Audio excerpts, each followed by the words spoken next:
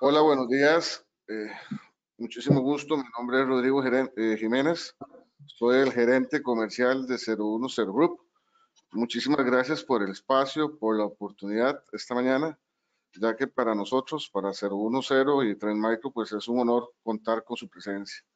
Esta mañana vamos a contar como presentadores con David Ovares y con eh, que es nuestro ingeniero de soluciones, uno de nuestros ingenieros de soluciones en 01, y con Denis Cordero, que es nuestro es ingeniero de preventas para Centroamérica, Colombia y Chile de Trend Micro. Eh, no sé si están viendo mi pantalla. Eh, Denis, tal vez si me puedes confirmar si se está viendo mi pantalla. Gracias, Rodrigo. Muy buenos días. Muy buenos días a todos. Muchísimo gusto. Eh, y bueno, eh, mi nombre es Denis Cordero Bonilla, soy ingeniero en Micro, como mencionaba Rodrigo muy felices de, que ustedes puedan estar con nosotros en esta sesión. Eh, y sí, efectivamente, Rodrigo, por ahí podemos ver la, la pantalla. Muchas gracias. Perfecto.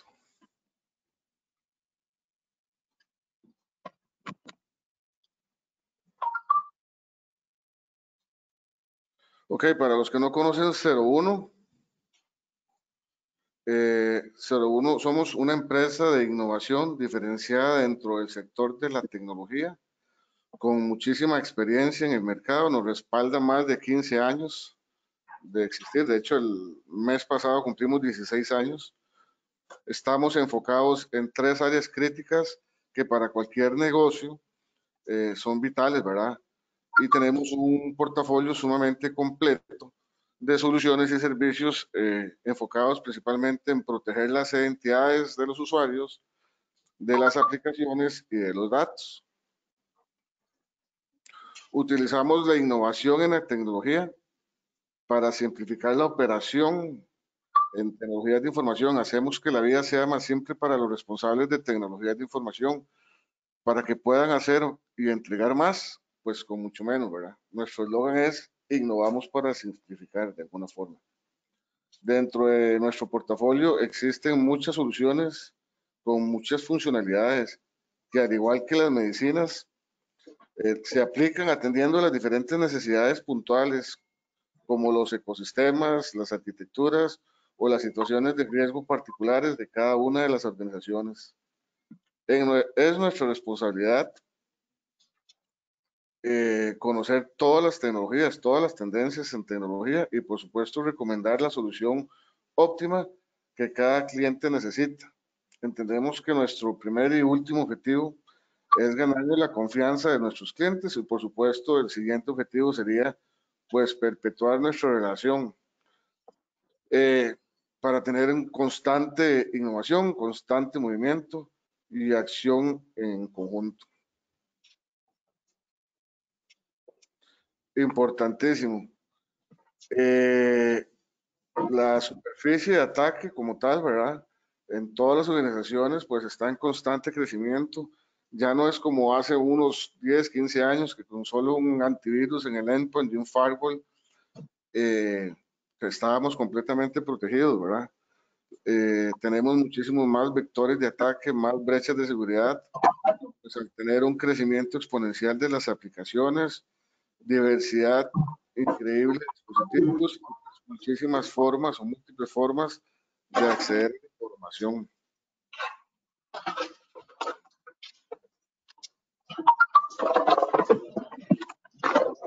Eh, según Verizon, del 2019, un reporte de Verizon, el 94% de los incidentes de eh, software malicioso fueron a través del, de los emails.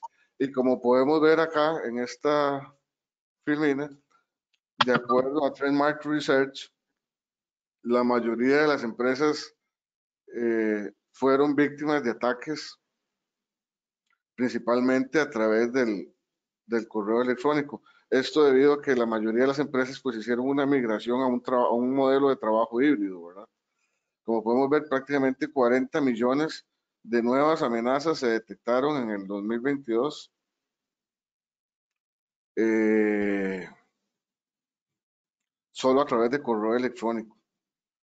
Eh, y las principales, eh, las principales amenazas, como podemos ver ahí, se detallan, pues obviamente como un decrecimiento en el, en el software eh, malicioso detectado de un menos 32%, pero vemos que sobre todo en la parte del phishing hubo un crecimiento de más del 205%. Tenemos herramientas que nos pueden ayudar. Vamos a ver que se me pegó la presentación. Tenemos herramientas que pueden ayudar o que nos permiten validar cuál es el comportamiento de los colaboradores ante correos sospechosos y a partir de ahí pues desarrollar programas o campañas en la que podamos crear cultura, una cultura más proactiva de acuerdo a esos correos maliciosos, eh, actualmente, pues tenemos la solución número uno de ciberseguridad del mercado y la favorita de las top 10 eh, de las, del Fortune 500 en las verticales más relevantes a nivel mundial, como lo es eh, el mercado financiero, eh, la vertical de la industria automotriz, telecomunicaciones y por supuesto la energía y la salud en la parte de petróleo. A, a, continuación, David, nuestro ingeniero David, pues va a realizar eh, va a exponer un poquito más profundo, a mayor profundidad, nuestra solución de Trend Micro Cloud Security. David, em, los micrófonos son tuyos. Gracias, ¿me escuchan? Perfectamente.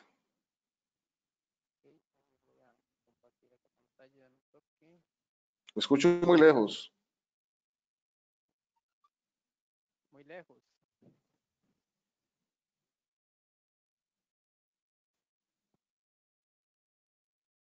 Ahí como me escuchas, mejor. Un poquito mejor. Me dicen si se escucha mal. ¿Se escucha mejor ya? Un poco mejor, sí. Ok, indicas si cualquier cosa si no se escucha. Hable más duro, porque sí se escucha muy lejos.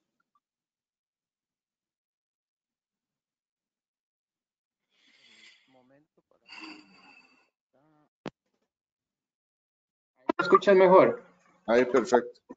Ok, dale, listo. Muchas gracias.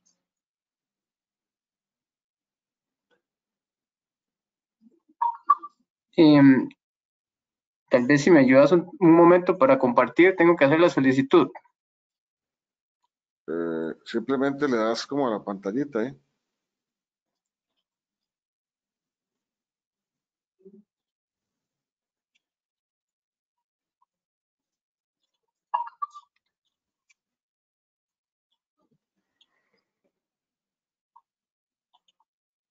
Ahí está.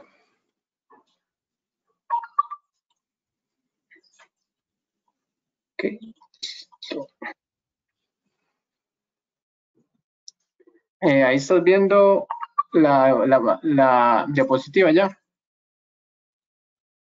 O estás viendo la otra parte. Es que tengo dos monitores. Rodrigo, ¿me escuchas? Sí, estoy viendo su escritorio y está la presentación, pero no está en modo presentación. Está el PowerPoint, pero no en modo presentación. Ahí estás viendo mi escritorio. Ahí estoy viendo el fondo de pantalla, sí. Ok, listo. Por acá. Este, nuevamente toque para ver. PowerPoint. Ahí. Eh, ¿Ya ves mi pantalla? ¿Ves la presentación? Veo como el PowerPoint en modo de correr, pero lo que usted ve no lo que está presentando.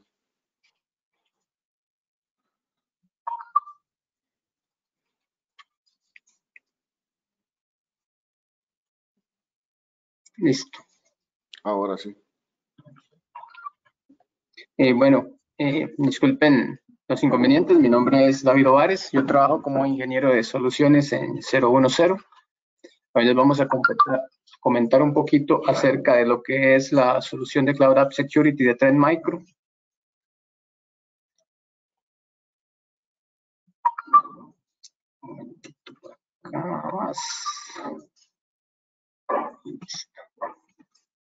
Bueno, actualmente Trend Micro maneja eh, tres enfoques básicamente en su suite de portafolios para lo que es la protección. Sería Network, Cloud y Endpoints.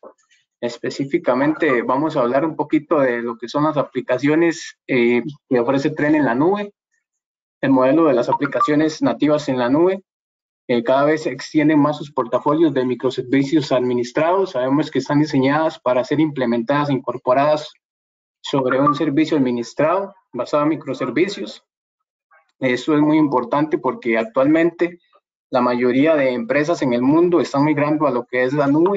Los ambientes on-premise, dado su alto costo de mantenimiento, empiezan a, a ser los menos preferidos, ¿verdad? Y además, al tener aplicaciones en la nube, se reciben muchas ventajas para lo que son los clientes al ser servicios administrados con los que podemos extender la visibilidad del control. Eh, al aplicar eh, entornos en la nube hay una variedad de desafíos, ¿verdad? En lo que son las arquitecturas de nube, eh, tenemos desafíos como la parte del monitoreo, de lograr una visibilidad correcta y amplia y específica sobre los registros y los eventos de amenazas. Hay nuevos vectores de ataque cada día que se extienden, ¿verdad? Como las amenazas de día cero y todo este conjunto de dificultades que puede enfrentar una organización terminan ralentizando un poco lo que son los procesos de innovación y, demás. Trend Micro, dentro de sus suites, ofrece una amplia gama de posibilidades y de opciones para eh, abordar todos estos temas, ¿verdad? nos ofrece las opciones de los XDR, ¿verdad?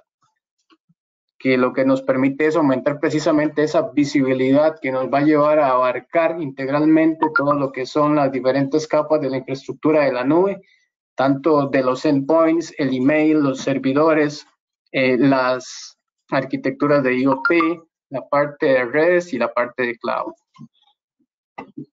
En la actualidad, Trend Micro ha tratado de ir más allá de ser meramente una solución eh, clásica de, de, protección y ya ha pasado a ser una solución de nueva generación, ¿verdad? Que así es como se les llama a estas soluciones por su amplio rango de, de espectro, ¿verdad? De amplitud, de monitoreo, eh, permitiéndonos avanzar distintas capas. Les voy a dar una pequeña, un pequeño vistazo. Esta es una, una visión de lo que sería un XDR donde podemos obtener la visibilidad de los nodos, la correlación y la trazabilidad de los eventos que se están llevando a cabo en, dentro de la red. Nos permite ver eh, varios elementos como las direcciones IP. acá podemos ver, perdón, los endpoints por los que ha pasado el malware, ¿verdad? Una vez que ingresa. Eh, la cantidad de usuarios que se pudieran ver afectados y nos dan un pequeño resumen de cuáles son las direcciones MAC, por ejemplo, si es un usuario administrador con privilegios estándar y entre otras cosas. Esta trazabilidad que ofrece Trend la extiende casi que a la mayoría de sus productos. Eh, Cloud App Security no es la excepción. Si nosotros tuviéramos una solución o la organización optara por Cloud App Security para proteger sus sistemas, eh, eventualmente podría ser integrada con Vision One, por ejemplo, que es el XDR de última generación de Trend Micro. Este es un pequeño informe de lo que puede hacer XDR, ¿verdad?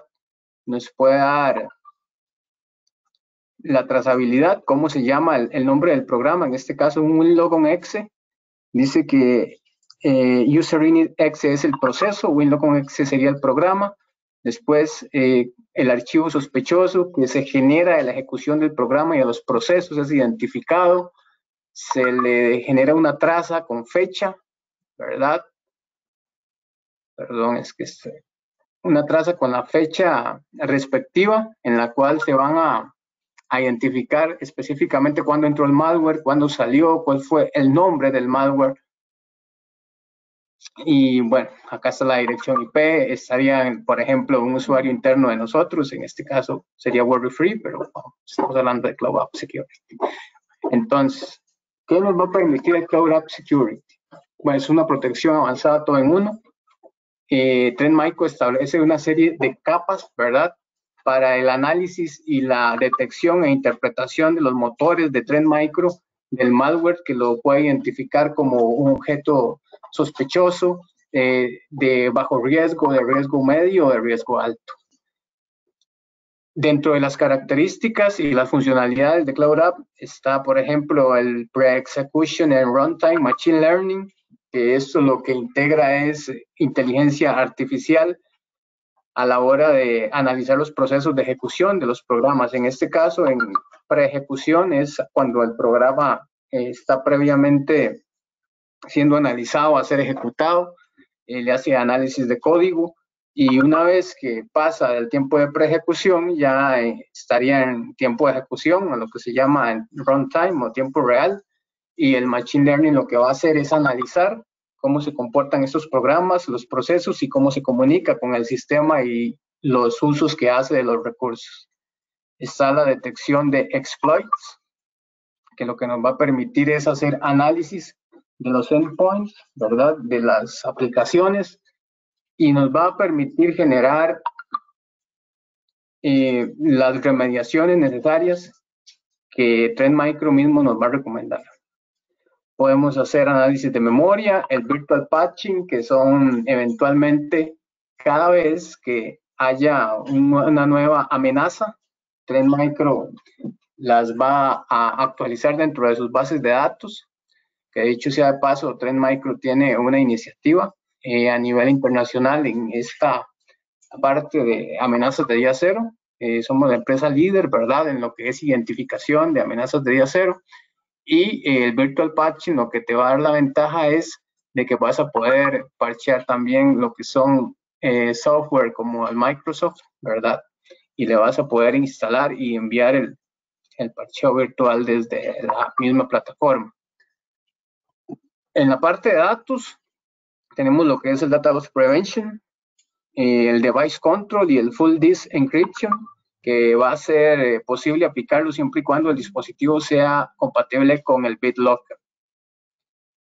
Y bueno, en la parte web, ya para la parte más de navegación, cuando los usuarios, digamos, se, exponen al Internet propiamente, eh, bueno, suelen tocar por allá muchos enlaces y, y, a veces reciben algún correo extraño y te redirige a otra pestaña. Entonces, lo que hace Trend Micro es que propone el URL filtering y la URL reputation, que en las bases de datos de Trend se establecen las páginas que, de acuerdo a, a su nivel de confianza, en base también a los que son los certificados. Entonces, Trend Micro le va a bloquear a la persona la posibilidad de acceder a una URL que no sea de confianza y que no esté en las bases de datos como tal, identificada como, con firmas eh, certificadas. Tenemos también lo que sería la, la aplicación contra el software malicioso, que ya esta es la parte más propiamente antivirus clásico y lo que es el control de aplicaciones. En este caso tenemos un ejemplo eh, de cómo se vería una CVE, la 2010-2742. Esta fue identificada el 21 de julio del 2015. Tres nos va a brindar una descripción corta sobre esta vulnerabilidad.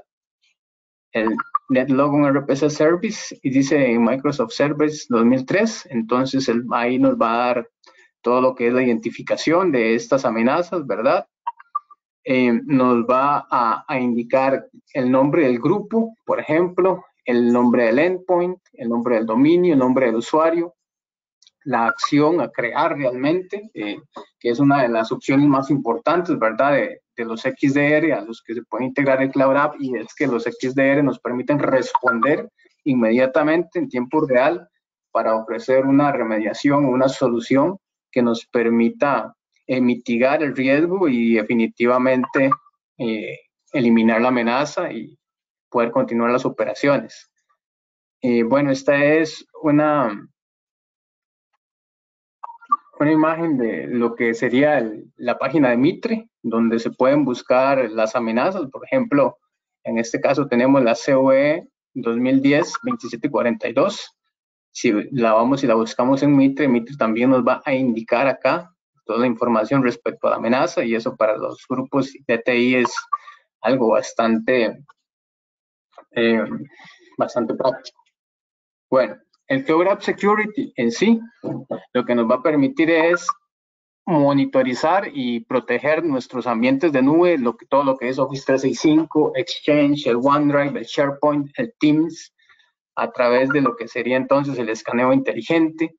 Em, tenemos también para Dropbox, Google Drive, Gmail y para Box.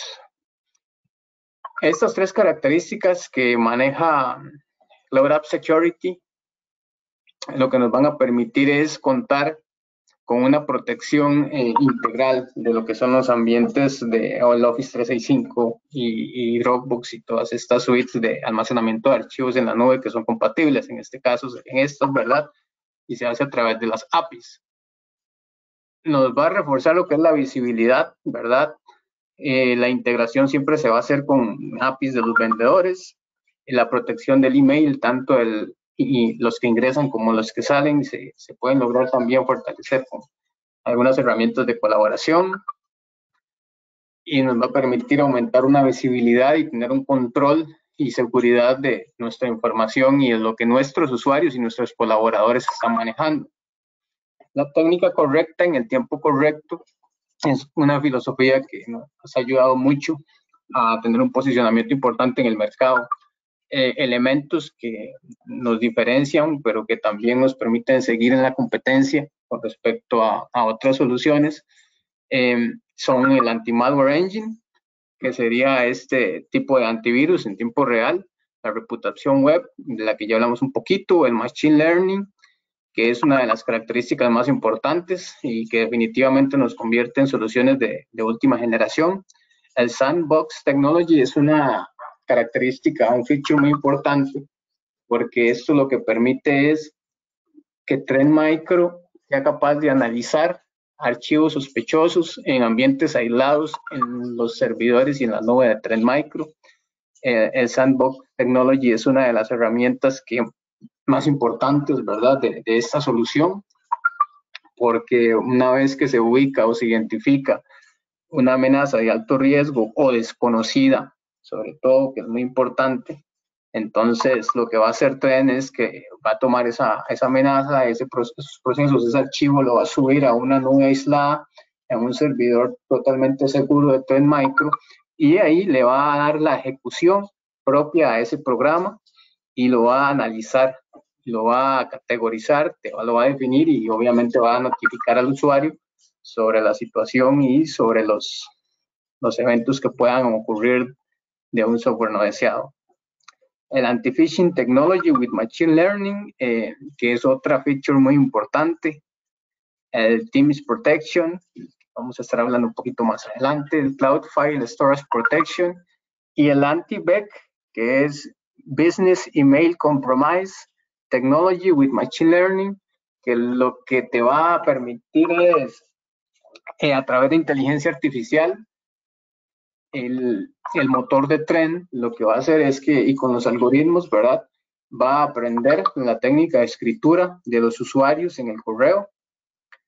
Y cuando él analiza los correos salientes, se, se da cuenta por la, el estilo de técnica de escritura del usuario, si alguien está suplantando al usuario o si efectivamente es el usuario real, es una característica importantísima definitivamente indispensable para evitar que se comprometan ¿verdad? Los, los correos o los credenciales de algún miembro de la organización. Eh, bueno, el Office 365 eh, nos va a ofrecer esta, el check de reputación web. Dice que en el 2019, por ejemplo, eh, lo que fue Cloud App Security bloqueó más de 7.7 millones de URLs maliciosas y esto reforzado con lo que es el Computer Vision de inteligencia artificial eh, para detectar credenciales falsos, le da una seguridad extra a todo lo que es la capa del Office 365. Eh, bueno, esta parte del Business Email Compromise de, con inteligencia artificial nos va a permitir, por ejemplo, eh, utilizar el Machine Learning y una serie de reglas que son totalmente personalizables para prevenir esto. Entonces hay dos capas, sería la parte de comportamiento, que sería la parte donde nos va a ayudar la inteligencia artificial, y la parte de eh, las reglas, que es acá donde dice intention, que de acuerdo a las reglas se hace un control cruzado entre las reglas y el comportamiento para que el motor de tren definitivamente decida si es el usuario o si no es el usuario el que está llevando a cabo la tarea. Para estas políticas, eh, Tren está ofreciendo más de 200 templates eh, ya previamente preconfigurados, que por ejemplo van desde registros bancarios, eh, datos de salud privados, ¿verdad? Que ya se consideran de, de máxima confidencialidad. Entonces, en base a todas estas reglas, vos vas a poder garantizar que el correo de la organización esté adecuadamente securizado. En estas reglas, por ejemplo, que ofrece Trend también, se pueden, además de los 200 templates, se pueden generar y se pueden construir reglas en base a las leyes y a las normativas internas que tenga la organización. y algunas organizaciones están, digamos, con, con, ciertas normas ya previamente establecidas, algunas cumplen con la 27001, otras no, pero todas quieren proteger su información, entonces también existe la posibilidad de que estas reglas sean creadas por el usuario para mejorar lo que es y fortalecer lo que es la seguridad y que se adapte, ¿verdad? Que es lo más importante, que haya flexibilidad y adaptabilidad de la herramienta a las necesidades de las organizaciones. Esta es una imagen pequeñita, eh, simple de cómo se vería la consola así por encima del Cloud App Security. Eh, podemos ver que aumenta bastante la visibilidad, nos permite ver lo que son las URLs maliciosas. Acá, por ejemplo, nos indica que tenemos tres en el dashboard principal, tres archivos maliciosos. Eh, no hubieron detecciones de ransomware. Este es un ejemplo de, del usamos nosotros, ¿verdad? En la empresa tenemos 14 identificaciones de phishing, no hubo BEC, ¿verdad? Business Email Compromise y fue mm, un total de 33.949 mensajes archivados y explorados. y perdón, y archivos explorados. Entonces, el, por ejemplo, en el Exchange Online nos da la data de los últimos 30 días y de los últimos 30 días, 30 días anteriores para decirnos que hubo una reducción del 47.09% en los últimos 30 días respecto a los 30 días anteriores. Nos ofrece esta gráfica, que es, bueno, en base a, colores y con las fechas, ¿verdad? En los lapsos, lo que nos va a generar una visibilidad importante en, en el rango de tiempo determinado sobre cuáles son los puntos críticos y los días en los cuales hubo un poquito más de, de tráfico.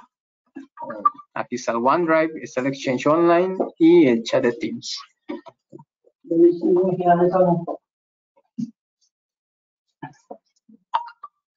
Y bueno, vamos a, también a compartir un poquito sobre lo que es el Email Security, que es una solución que también tiene Trend, eh, específicamente ya para lo que sería la parte meramente de emails.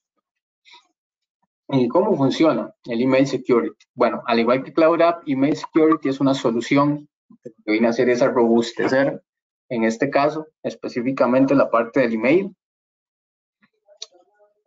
Eh, cabe resaltar que para lo que son eh, eh, tanto Cloud App como Email Security, su implementación no genera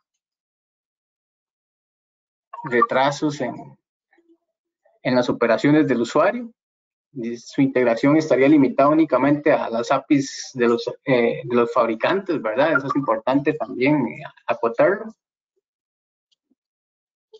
Y que, bueno, la ventaja de ser implementaciones de nube es que, bueno, soporta, los dispositivos en cualquier lugar y en cualquier momento del mundo. Lo único que se necesitaría es una cuenta del usuario, crearla, ¿verdad? Para, para hacer el licenciamiento y poder acceder a la plataforma.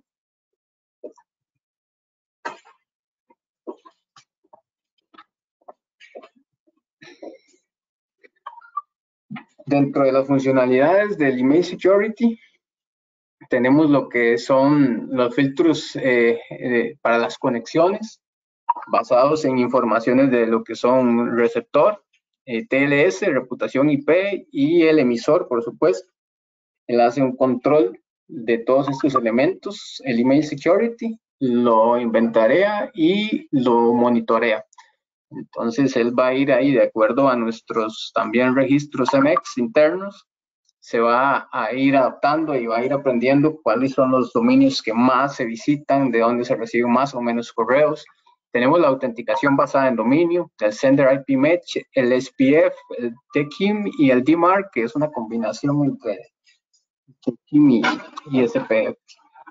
Los virus scanning son eh, el, antivirus que nos va a permitir estar protegidos contra el malware. El filtro contra spam, que es, es, muy, muy importante. También Email Security tiene el feature, la característica de Business Email Compromise. Y lo que sería el filtro de contenido con los attachments en keyword matching. Okay, aquí tenemos un ejemplo, la consola del Email Security, eh, muy básico, pero es un ejemplo de, de, cómo en Inbound Protection nos da estas opciones, el receptor, Sender Filter, TLS y IP Reputation. Bueno, para la autenticación basada en dominio, eh, tenemos cuatro features importantes el Domain Keys Identified Mail de Kim, del que les comenté ahorita, el Sender Policy Framework SPF, el Sender IP Match y el Domain Bus Message, Message Authentication Reporting and Conformance. Eh, bueno, entre todo esto, las políticas eh, siguen estando como una de las características más importantes e indispensables de, de cualquier solución de seguridad. Las políticas nos van a permitir eh, adecuar los escaneos de virus en tiempos eh, pertinentes cuando la organización realmente lo necesite, asegurarnos de que no hayan escaneos eh, cuando la red esté muy congestionada o cuando los equipos tengan más cargas de trabajo. El spam filtering lo que nos va a permitir es ganar tiempo, ¿verdad? No desperdiciar tiempo de los usuarios y no no arriesgar los demás, permitiendo que solamente ingrese el correo que necesariamente necesita la organización.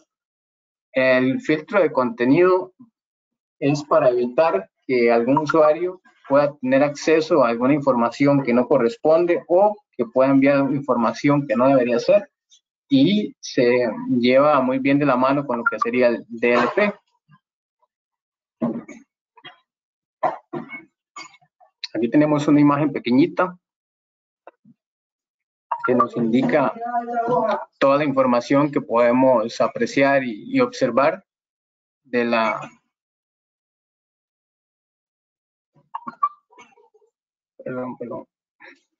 toda la información que podemos apreciar de la de la herramienta. Por ejemplo, acá, bueno, tenemos un ejemplo, Henry Martin, ¿verdad? Dice que está habilitado. En recipients and senders serían eh, emisores y receptores nos da información sobre el mensaje, sobre el dominio del correo. Aquí podemos ver cómo esa política dice que, bueno, el mensaje entrante al, a la cuenta de ken.tdglaph.com y from anyone, ¿verdad? Le está diciendo acá. Ok, y eh, los atributos del mensaje que se pueden hacer con form, en este caso, eh, las acciones, si lo quieres pasar a cuarentena, si cuando puedes elegir cuando hay una, un evento específico, si quieres este, eh, enviar algún tipo de notificación, si quieres enviarlo a algún tipo de cuenta en específico, si lo quieres enviar entonces a cuarentena, si lo quieres borrar, si lo quieres reescanear, y bueno, entre, muchas cosas interesantes que, vamos a ver aquí más adelante. los criterios de escaneo para las políticas de virus también son completamente configurables. se puede, bueno, en este caso, eh, vamos a, aquí a una política de scanning criteria, de las que ahorita en un momento ya les va a hablar más el compañero Denis eh, y les va a ampliar un poquito. Eh, les era nada más para que tengan la idea, voy a dejar que lo explique más a, a fondo, pero aquí podemos ver más o menos una, unas, un par de imágenes de cómo funciona la herramienta. bueno, para las reglas de spam o phishing, igual se podrían haber entonces the lowest que sería el, más conservador, low, moderate lowly, moderate late height, high y highest. Entonces, de acuerdo a todas estas capas de, de riesgo, ¿verdad? Del, correo entrante, se pueden también tomar y definir y especificar distintas opciones que se le pueden ejecutar a ese correo de acuerdo a su contenido o de acuerdo a su remitente o de, de acuerdo a su importancia.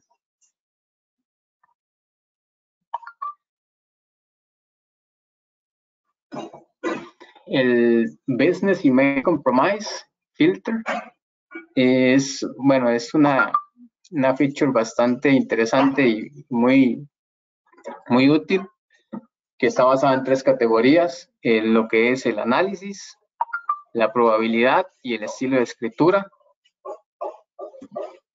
El análisis generalmente se, se relaciona más con la parte de las políticas él analiza si el correo entrante, este, de acuerdo a, alguna política, tiene que tomar una acción específica, la probabilidad, ¿verdad? Que tiene que ver con la parte ya de las etiquetas de los cuerpos y del mensaje, y el estilo de escritura, y ya como comentamos, eh, él lo aprende, aprende el estilo de escritura del usuario y después con las políticas y la, y la parte de la probabilidad eh, hace una evaluación general del correo y de su riesgo o no riesgo, ¿verdad? En este caso, por ejemplo, dice que, bueno, para el spam, si tiene una, una categorización moderadamente baja, eh, el BEC va a aplicar esta regla a este mensaje. Dice que lo va a detectar como Business Email Compromise, Attacks by Anti-Spam Engine. Bueno, entonces él va a enviar también una notificación al usuario este, de lo que está pasando con ese correo. Y en la consola también se, se, va a poder ver una notificación, además de por correo en la consola se va a identificar la misma detección cruzada. Y bueno, acá en este caso tenemos también seleccionada la parte de phishing en otros species content para que él lo analice y lo notifique de gray mail, de web reputation y, y ataques de ingeniería social.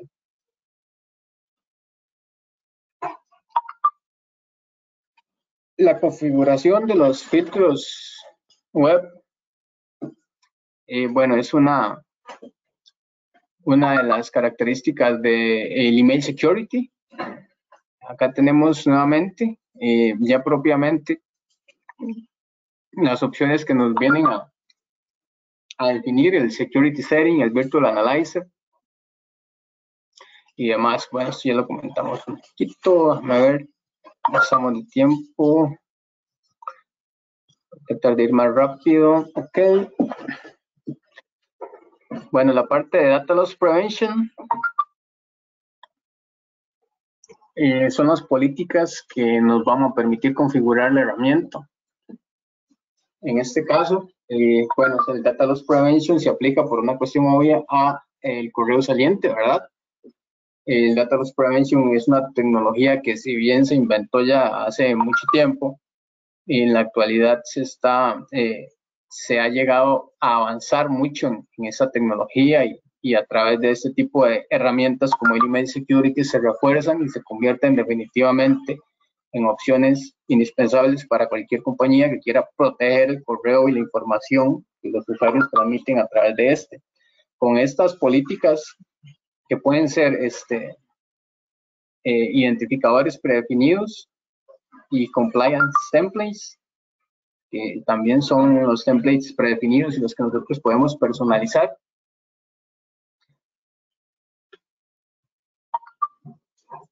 Además, eh, bueno, el DLP tiene una ventaja en las políticas y en la parte de personalización específicamente nos va a permitir por ejemplo, que podamos asignar expresiones por ejemplo, todo lo que diga información confidencial, ¿verdad? Listas de palabras y atributos de archivo. Por ejemplo, que no se puedan enviar o que la organización no permita la salida de correos electrónicos que pesen más de, de 100 megas. Si lleva un archivo de más de 100 megas, e, ese correo electrónico va a ser bloqueado. En la parte de las expresiones, eh, se diga información de datos médicos, por ejemplo, eh, información de datos bancarios. Entonces, si un correo electrónico lleva dentro del contenido eh, una frase, una estrofa que dice eh, el número de cuenta personal es 00000, por ejemplo. Entonces, con solo que diga el número de cuenta, ya esa expresión, número de cuenta bancaria, ya la va a identificar como una posible infiltración de datos, eh, de, información peligrosa, como una brecha de seguridad, entonces la va a bloquear. Eh, bueno, por los atributos de archivo también se puede bloquear, además de por tamaño, eh, por tipo. No sé, que no se puedan enviar, por ejemplo, ciertos tipos de archivos, .bat, por ejemplo, que no se pueda enviar archivos .bat a través del correo electrónico, que ningún usuario lo pueda hacer y las keyword lists, que es una lista de palabras especiales en las cuales ya tenemos 26 predefinidas de hecho.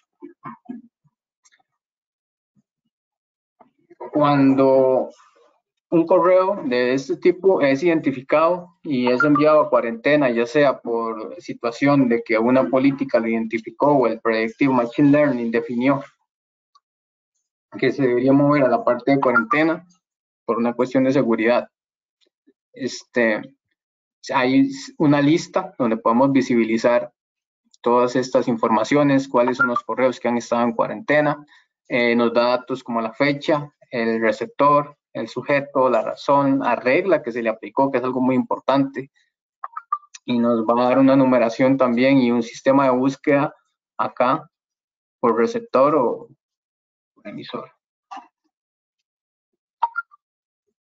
Para los archivos que han sido enviados a cuarentena, el correo de cuarentena, eh, bueno, se pueden borrar, se pueden también descargar o, en su defecto se podría dejar que sean entregados. Pero lo importante es que las personas que están administrando la infraestructura de TI o en este caso la parte del correo van a tener todas esas facilidades que le van a permitir tener una noción más exacta de qué es lo que está pasando y por qué fue que el correo fue bloqueado por la herramienta. Eh, bueno, de mi parte eso sería. Vamos a pasar ahora con el compañero Denis, que nos va a dar y a ilustrar un poquito más con un ejemplo en vivo de cómo funciona la herramienta de CloudUp.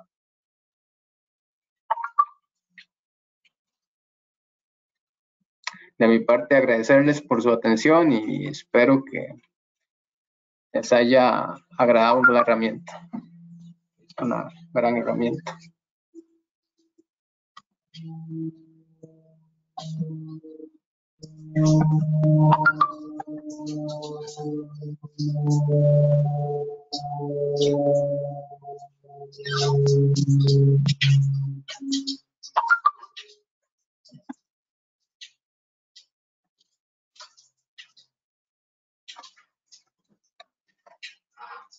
Perfecto, muchas gracias. Permítanme por acá compartirles pantalla para ir mostrándoles la información.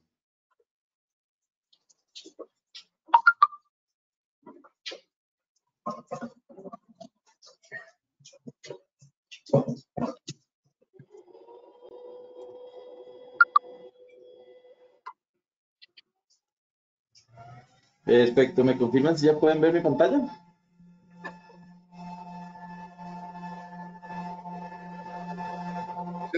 Ya se ve la pantalla. Excelente, muchas gracias.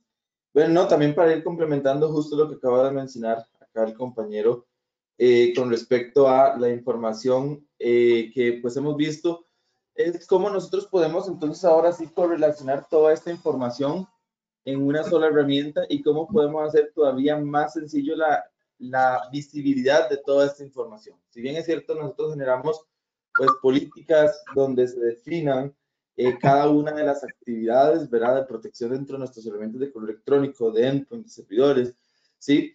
Hay algo importante que nosotros tenemos que ver dentro de nuestra estrategia de seguridad y es cómo podemos entonces nosotros dentro de la compañía ser más proactivos para definir el riesgo, cómo podemos ser más proactivos para poder brindarle un nivel de seguridad y protección mayor a la organización.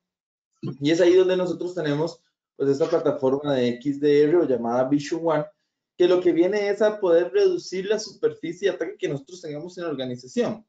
¿Dónde y cómo tenemos nosotros superficie de ataque? Bueno, hay varios elementos que se toman en cuenta.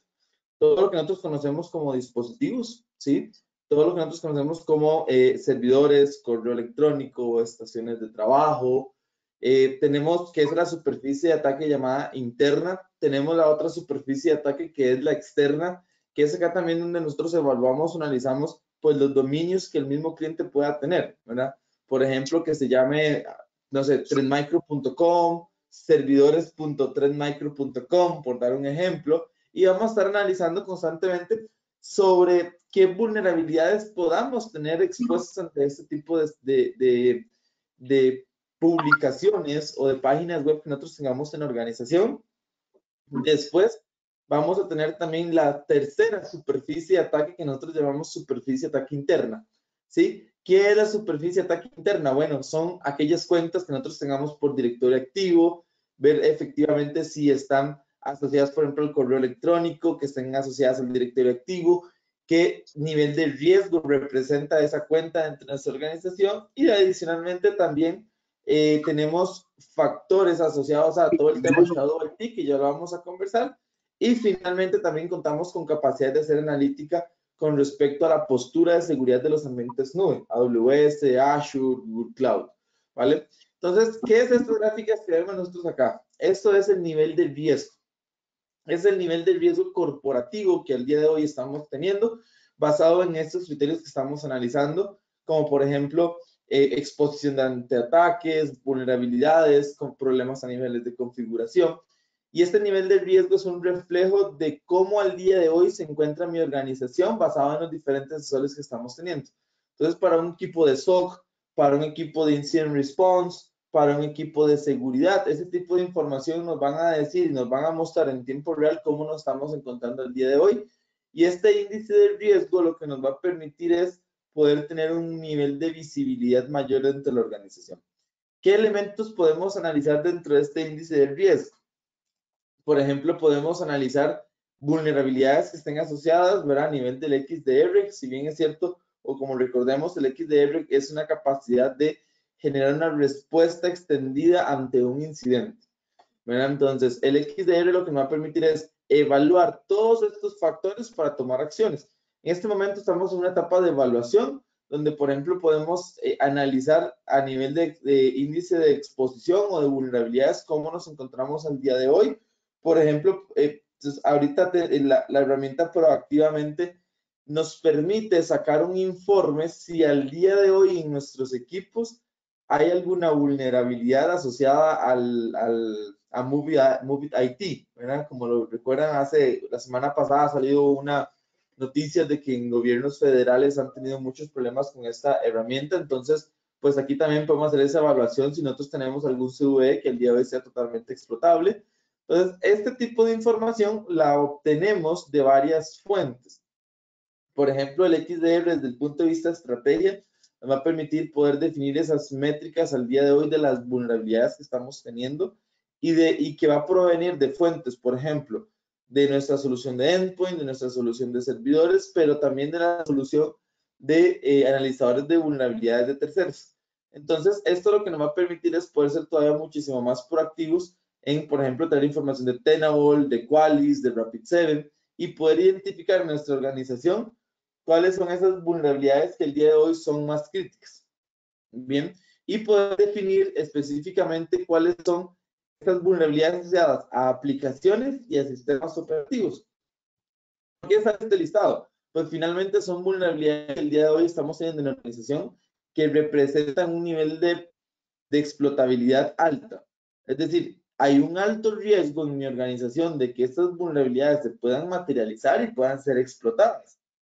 ¿Qué hacemos nosotros como organización? Pues finalmente buscar la manera de eh, hacer un parche virtual, por ejemplo, o también eh, hacer un proceso de remediación. Finalmente nos va a indicar cuál es el impacto que estamos teniendo y también nos va a decir cuál va a ser el impacto que estamos teniendo a nivel de factores de riesgo en nuestros ambientes de nube. ¿vale? Ya, eh, ya ahorita les vamos a mostrar más en detalle qué significa estos dashboards que tenemos acá, ya que están relacionados a correo electrónico.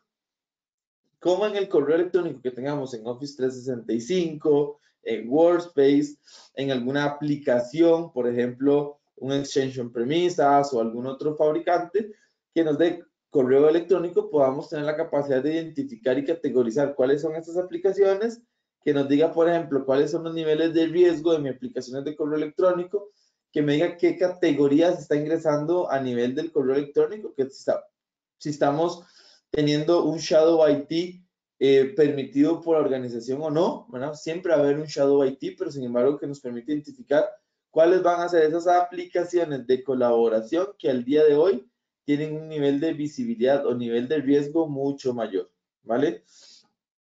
Algo importante también es que tenemos la capacidad de medir la superficie de ataque y aquí viene muy, muy relacionado a lo que comentaba el compañero, eh, adicional al, tema de eh, de poder analizar cuáles son esas cuentas o esos buzones que nosotros podemos tener que son al día de hoy críticos en una organización. Entonces, ¿qué tenemos acá? Por ejemplo, vamos a poder analizar eh, o correlacionar la superficie de ataque que tengamos basado en los servidores, estaciones de trabajo, correo electrónico y todas las cuentas. Entonces, de una sola vez, la herramienta cuenta con esa capacidad de analítica y de eh, correlación con respecto a esas actividades de las cuentas. Por ejemplo, acá podemos ver el nivel de visibilidad de esta cuenta que tenemos acá. Em, a nivel de, por ejemplo, estaciones de trabajo. Aquí, por ejemplo, podemos ver algo adicional que es el nivel de riesgo, ¿verdad? Entonces, nosotros podemos identificar cuáles son los factores que tenemos asociados a un computador. Entonces, él va a correlacionar vulnerabilidades que tengamos, detección a nivel de las estaciones de trabajo que tengan un nivel de severidad alto. ¿sí? Por ejemplo, ataques que estén recibiendo. Por ejemplo, vamos a tener capacidades de recibir o analizar, por ejemplo, algún monitoreo, alguna violación de alguna actividad que estemos teniendo. Problemas de configuración. Y como pueden observar, es, aquí hacemos una correlación de esta estación de trabajo y tiene este nivel de riesgo, que es 75. ¿Por qué 75? Bueno, porque nosotros hacemos una evaluación de todos estos elementos que tenemos acá, que es actividad de la cuenta, ¿sí? A nivel de, em, de Active Directory, vulnerabilidades que tenga, actividad y comportamiento, toda la actividad que esté pasando a nivel de la, de, de la nube, a nivel de Office 365 o Workspace, ¿sí? Toda la actividad de correo electrónico que mencionaba el compañero David. Problemas de configuración, detecciones a nivel de XDR y amenazas. Y a partir de acá es que este score se va a ir variando y se va a ir moviendo. ¿Qué es lo que hacemos nosotros como organización con este número? Tomar acciones. Vaya, si vamos a involucrar equipos de SOC, si vamos a involucrar algún equipo de seguridad interno, si vamos a involucrar a un analista que nos permite identificar todos, o, eh, todos estos elementos sin la necesidad de ir a consolas diferentes. Ese es el objetivo principal, ¿verdad? Muy bien. Eh, después de esto, vamos a poder analizar las gráficas que nosotros tengamos, adicionalmente la correlación que vayamos a tener y pues la actividad que vayamos a tener con respecto a la cuenta, ¿verdad? Asociado a esa estación de trabajo. Después vamos a poder analizar pues los assets de internet y vamos también a analizar, por ejemplo, las cuentas que les mencionábamos, ¿verdad? Entonces aquí vamos a poder hacer la correlación de cada uno de los em, eh, cuentas que nosotros tengamos por ejemplo, estas que tenemos acá, que se llaman eh, Demo Rockstar, entonces de una vez podemos correlacionar de manera centralizada toda la actividad que vayamos a tener dentro del ambiente de la protección de correo electrónico, entonces podemos identificar quién se está logueando, en qué momento, cuántos intentos hizo, y por ejemplo podemos identificar todos los factores de riesgo asociados a, a esta cuenta que esta información viene justamente de lo que mencionaba el compañero David con respecto a las políticas de seguridad que se estén implementando y que se estén analizando. Entonces aquí podemos ver nosotros niveles de riesgo a nivel, por ejemplo, de actividad de usuarios, de actividad de, em, por ejemplo, de Active Directory, cuentas privilegiadas, amenazas que se están recibiendo. Entonces, de manera centralizada, el XDR les va a dar este nivel de visibilidad. También nos va a dar un nivel de visibilidad completo con respecto a cuál es la relación que está teniendo una cuenta dentro de la organización. Por ejemplo, una cuenta de correo electrónico tiene relación con cuentas internas, con máquinas, estaciones de trabajo, con assets en la nube, ¿verdad? con portales de autenticación en Azure, por ejemplo. Entonces, ustedes van a tener todo un nivel de visibilidad completo con respecto a la actividad que tengamos eh, a nivel de la, de la actividad de esta cuenta, a nivel de assets de la nube, como les mencionaba, los dispositivos que tiene pues de una vez correlacionado.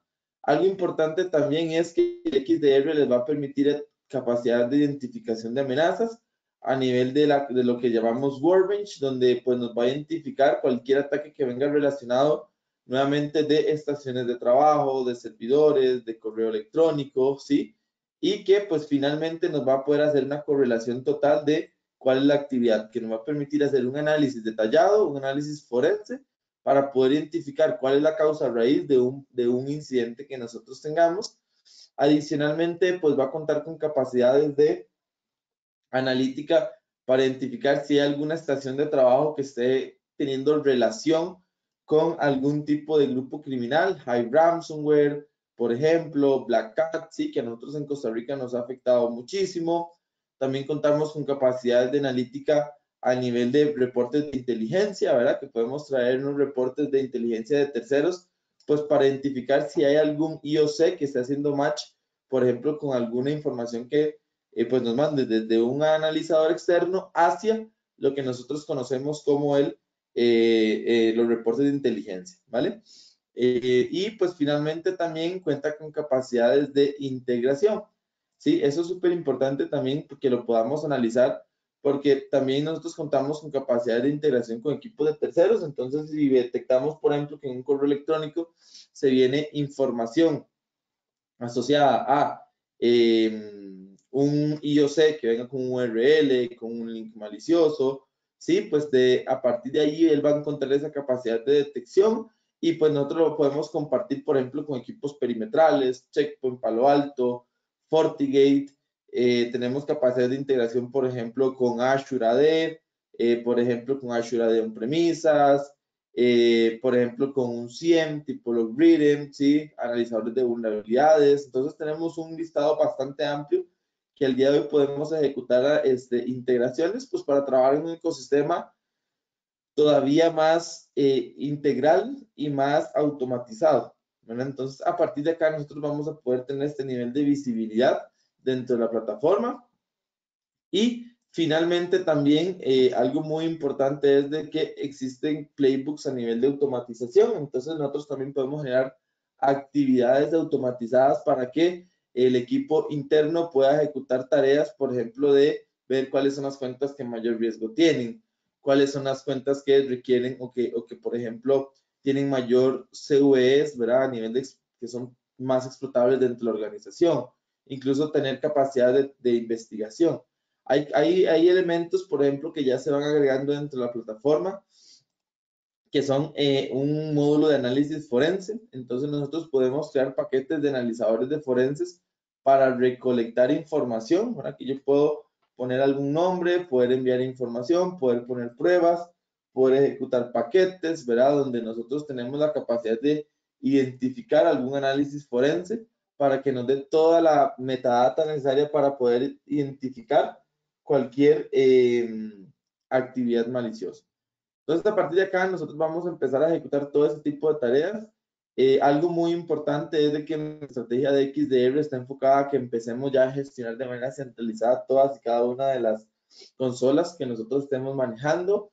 Estos niveles de riesgo que nosotros vamos viendo, por ejemplo, en las cuentas de correo electrónico, van a poder depender o van a venir respecto a las políticas, por ejemplo, que mencionaba David, que eso viene directamente de esta parte de que nosotros conocemos como Cloud App Security.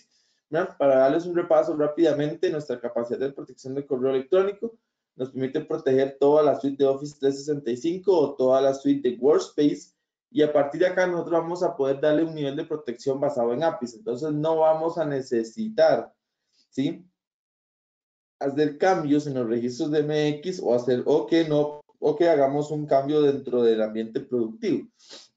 Realmente el objetivo de la API es que se pueda eh, analizar toda la información eh, por medio de, de, de, APIs y sin la necesidad de hacer ningún tipo de modificación dentro de los ambientes. Entonces, a partir de acá, mira, vamos a hacer el análisis con respecto a las políticas que vayamos definiendo. ¿Sí? A nivel de protección de spam, tenemos capacidades bastante potentes para proteger a nivel de correo electrónico.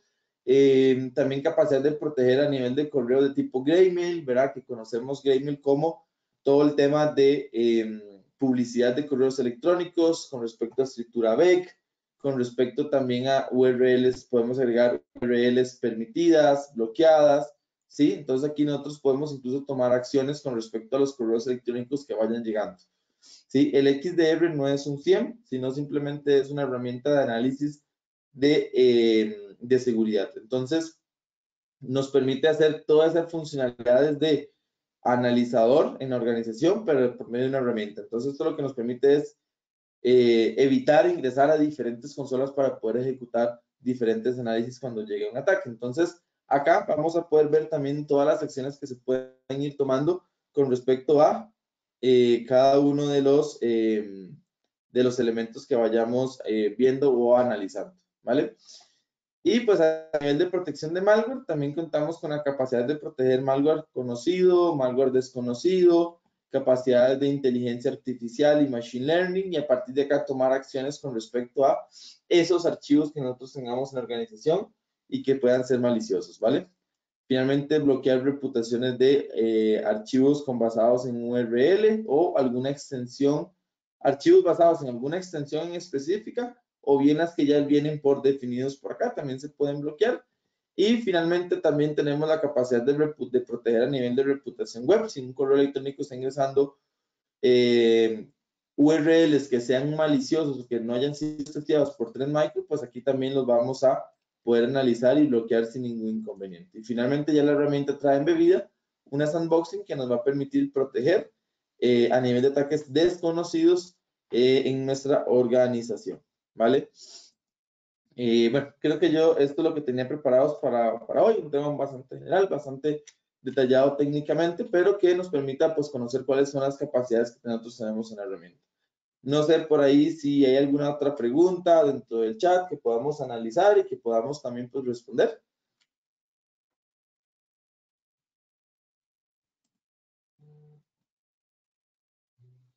Vamos a ver. Ya las preguntas que se hicieron en el chat fueron respondidas directamente en el chat. Perfecto. Entonces, eh, bueno, no sé por ahí, Rodrigo, si quieres agregar algo más. No, simplemente agradecer a todos la participación. Eh, Denis, si me ayudabas compartiendo el link de un formulario, de una encuesta que tenemos al final, de forma tal de que lo completen, por favor, para, para conocer el nivel de satisfacción y, y qué temas les gustaría que presentáramos en el futuro, en próximos eventos, en próximas actividades. Eh, de nuestra parte, creo que agradecerles a todos el espacio, el tiempo. Espero que haya sido de mucho valor para ustedes y nos esperamos ver pronto en, en los siguientes eventos. Denis, muchísimas gracias, como siempre. Excelente su, su presentación. A David también, excelente. Muchísimas gracias. Que tengan un bonito día. Muchas gracias. Hasta luego. Que pasen un feliz Un bonito día. Pura vida.